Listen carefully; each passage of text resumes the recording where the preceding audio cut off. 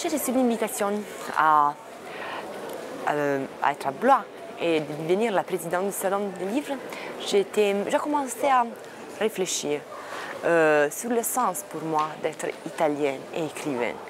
Euh, je suis ravie, touchée d'être ici et hum,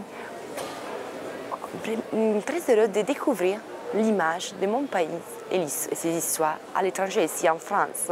En même temps, moi j'habite en France, euh, mais je suis italienne. Mais les liens entre France et Italie, il y a depuis des millénaires.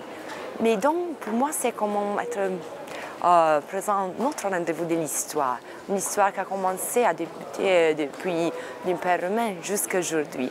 Et surtout aujourd'hui, parce que nous sommes plus qu'italiennes ou bien français, nous sommes tous européens, d'être ici et d'étudier, redécouvrir l'histoire entre des liens entre la France et l'Italie, c'est quelque chose de, je crois, très précieux.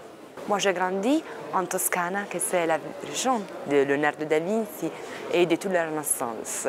Et donc, de redécouvrir ces traces ici, à Blois, dans la même région, pour moi, c'est la première fois que je visite la région, c'est à peu près, pour moi, c'est comme à revenir chez moi.